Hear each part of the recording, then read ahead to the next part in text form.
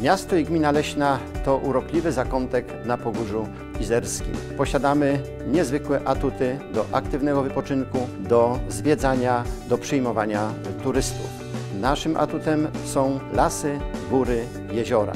Jezioro Złotnickie i Jezioro Leśniańskie to akweny umożliwiające nie tylko aktywny wypoczynek, ale także i połowy wspaniałych pokazów ryb.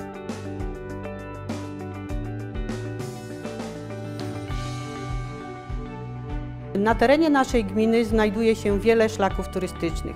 Jednym z najpiękniejszych szlaków jest tak zwany szlak królewski, zaczynający się od miasta, a kończący przy zaporze leśnej.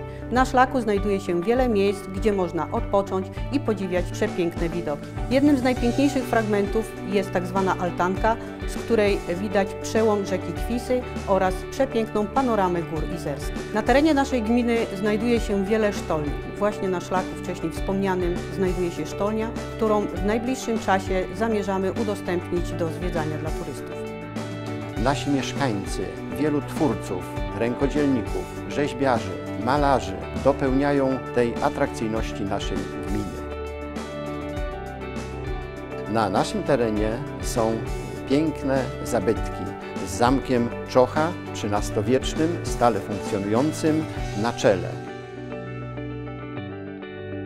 Posiadamy niezwykle atrakcyjne ruiny zamku w Świeciu z XIV wieku.